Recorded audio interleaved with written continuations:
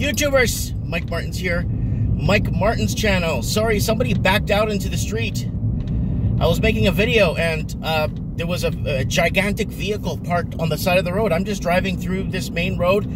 Somebody backed right in front of me. I slammed my brakes. Everything on the seat went flying. I'm lucky I didn't have a coffee here because that would have gone flying. But that is, yeah, but that guy doesn't live here. He's, he's passing through gas station, take a little look around.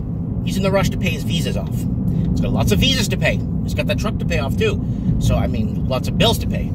So, anyways, what do we got going on, guys? So, I got a lot of people in the comment section uh, commenting, uh, especially from the United States, when we talk about in Canada how much we pay in tax and you know uh, what we pay at the pumps and now property tax going up in Toronto.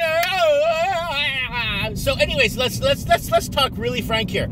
Toronto property tax going up, right? Okay, so yeah, so okay, so let's say interest rates go down, they start like making it more affordable for people to buy, and they do a 50 year amortization or interest only mortgages to keep that housing bubble going. What's the point when the property taxes are so high? You know, what's the point? You're, pay, you're paying. So I, I had to talk with my mom this morning. She's paying actually $8,300 a year in property tax. Okay? My aunt is paying $10,200 in property tax in Toronto. I did not know this. I, I thought it was like like I hear it when I in Merritt $1,400 a year. Wow! wow! So what they're going to do is they don't want these prices to come down because if prices of homes come down, and I brought this up on the show a gazillion times, the price. Wow! This guy almost swerved into the other lane and almost hit an oncoming car. I gotta face this camera forward, man.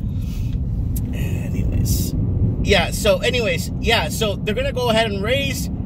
Uh, if property prices go down, property uh, property taxes go up to offset the uh, the budgets for these cities. These cities have a, a, surplus. They don't have a surplus. They have budgets that they work with for their their schooling, their their transportation, their this, their that, their that.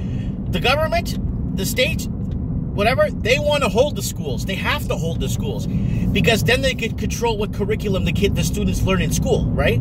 They need to hold the schools. They need to hold. Um, uh, our hospitals because then you start getting private hospitals and people are like what that guy at that public hospital told you that no we're gonna do this and you're gonna be fine you know because it's better to get a second opinion that way because not everything's under a, a, a, a specific curriculum that it's under right? That it's under you know what i'm trying to say right?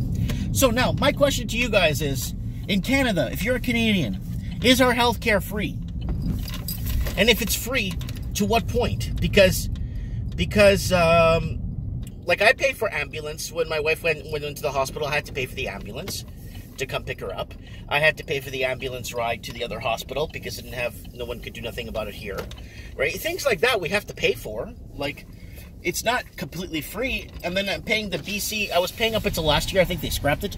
The BC healthcare. Hi, can I get an extra large coffee with one cream?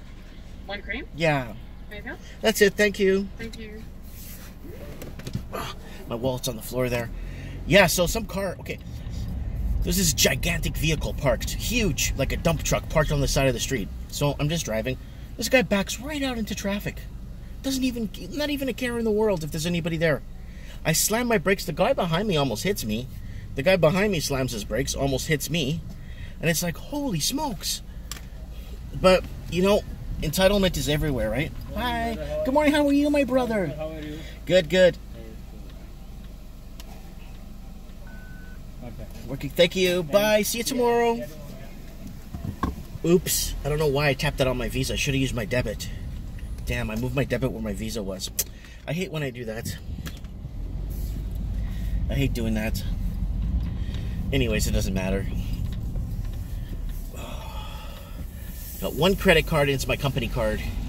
And sometimes you get flagged for buying personal stuff on your business accounts, but I'll just have to explain the coffee. But everything else is all business. I don't I don't need to use it for personal. Pay it off at the end of the month. So I have an option on my Visa. We'll go back on topic, but I have an option on my Visa with the points I have. I could pay down six thousand, I think six thousand eight hundred dollars on my credit card, which I don't have to pay because my credit card I pay it off at the end of the month. It's only a thousand, two thousand a month I pay for orders and stuff, right? And I pay it off at the end of the month. So I could pay like almost seven thousand, six hundred, six thousand eight hundred and something dollars Uh, I could use it to pay down. I could pay off like pay. I could use it uh, fractionally to pay off my credit card if I want. When I use it and use the points back to pay it off, and I could get six thousand eight hundred dollars worth of product for me to resell in my store, or I could use it in travel miles or like travel, uh, like eleven thousand seven hundred, or it's like close to twelve thousand dollars worth for me to travel with if I want to do that instead and get more travel points than you do for uh, like payback dollars on the credit card. And that's really good. I've had this credit card now for in and around 10 years, and I've never used the points on it. I use it to place my orders, and at the old store, I was placing like $17,000 orders every month. And another order would be 6000 for the month, you know? So a lot of work. I worked hard at that, at that place on the coast because it was really hard to find good help. I had, to, you know, a couple of guys that helped me out. They're really good. But then I had a couple of guys that were just absolutely disaster nightmares, crying babies, just just there for the money and don't care about doing the job. Yeah. But yeah. So back on topic. Is our healthcare free in Canada? That's the question. Um, we pay so much. I mean, if we were if we were to actually get if we were to fairly pay for everything and property taxes were fair and this and that, and we didn't have, and our healthcare wasn't free, if you were to, uh, if people were wise to, to save their money properly, they'd have a lot of money fast. Once you start seeing how much you save on a daily basis when, when you're not paying such high, high absorbent taxes. But you know what? Maybe it's safe this way because people will just be uh, unsensible with their finances. So this way, the healthcare is free, but but you, you know what I'm saying? And then now they're they're going to start canceling people's. Oh oh oh! It was an article that was sent to me. They're, I'm going to read it. They're going to start canceling OHIP, Ontario Health uh, Plan, or whatever. If you leave Canada now, your Canadian health care will not cover you no more. You have to use local health care. So if you go down to the States and you give them your Canadian health care card, they will look at you and say, We are not doing nothing. We cannot accept this no more because your government won't be paying. So that's another thing. You guys look it up. There's an article, I think, I'm not sure who wrote the article, but it is legit. I did a background check just to make sure, there, you know, it wasn't uh, Mickey Mouse. But yes, it, it, it's a big deal. So you guys have to keep an eye on that. Uh, okay, I gotta wake up. Uh, trends in the housing market was a hit last night.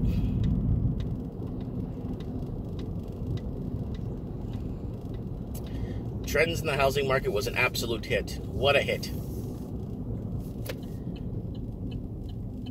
Oh, man. I wonder if they. Yeah, the truck's still there. The same guy that pulled out into traffic is still at the gas station there. Wow.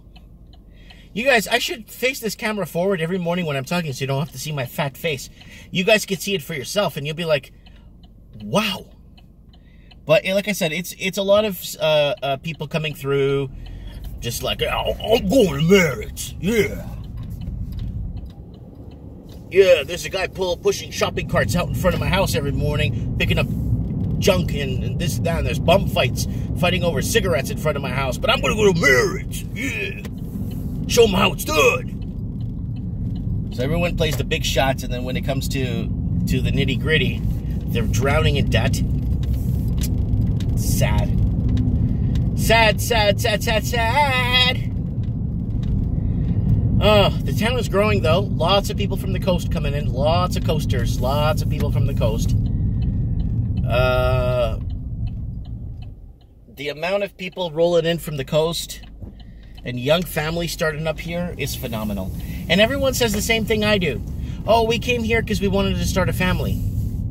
It's impossible in a big city and that's why the blue and uh, blue collar and white collar workers, a lot of them, especially the blue collar workers, they want to. Uh, they they want to have families. It's in their genes, you know. White collar workers are more um, business and or uh, business and career driven, which is which is you could kind of understand. Especially the women in the white collar force are more career driven and not too much family growth. But it is what it is, you know. Uh, it is what it is. Let me know what you guys think in the comments below. And uh, yeah, I'm here at the shop. I'm gonna go. Store's at best. Oh, I was so busy yesterday. I'm gonna go clean up, get ready for the next wave of people coming today and hanging out, buying stuff and playing games and doing all kinds of stuff here. Anyways, guys, thanks for watching. Don't forget to the subscribe button. God bless you guys. God bless everybody. And uh, yeah, if you're in Merritt, come down and visit me here at the Merritt Toys and Games. Thanks for watching.